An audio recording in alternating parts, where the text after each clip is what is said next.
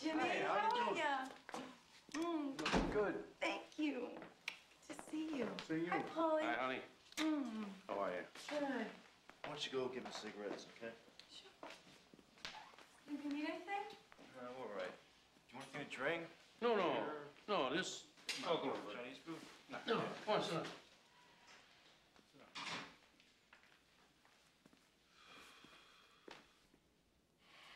Karen came to the house. She's very upset. This is no good. You gotta straighten this thing out. Gotta have calm now. You understand? With her, we don't know what the hell she's gonna do. She's getting all hysterical. She gets very excited. She's wild. And you, you gotta take it easy. You got children. I'm not saying you gotta go back there this minute, but you gotta go back. I mean, it's the only way. Gotta keep up Hey, appearances. man, I got the two of them coming over the house every day, commiserating the two of them. I can't have it. I can't have it.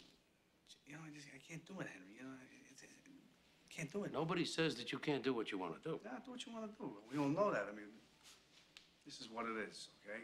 We know what it is. You have to do the right thing. You have to go home to the family, you understand? You gotta go home, okay? Look at me. You gotta go home. Smarten up. All right? All right, I'm gonna talk to Karen. I'll straighten this thing out. I know just what to say to her. Okay? I'm gonna tell her you're gonna go back to her, and everything's gonna be just the way it was when you were first married. You're gonna romance. It's gonna be beautiful. I know how to talk to her, especially to her. In the meantime, Jimmy and Tommy are going down to Tampa this weekend to pick up something for me. Instead, you go with Jimmy. Yeah, you come with me. We'll go down there, okay? Have a good time. Take some time for yourself. Relax. Sit in the sun. Take a couple of days off. Have a good time. Enjoy yourselves. And when you come back, you go back to Karen. Huh? Okay. Please, there's no other way. You're not going to get a divorce. We're not on the I'm Miley. gonna get. She'll never divorce him.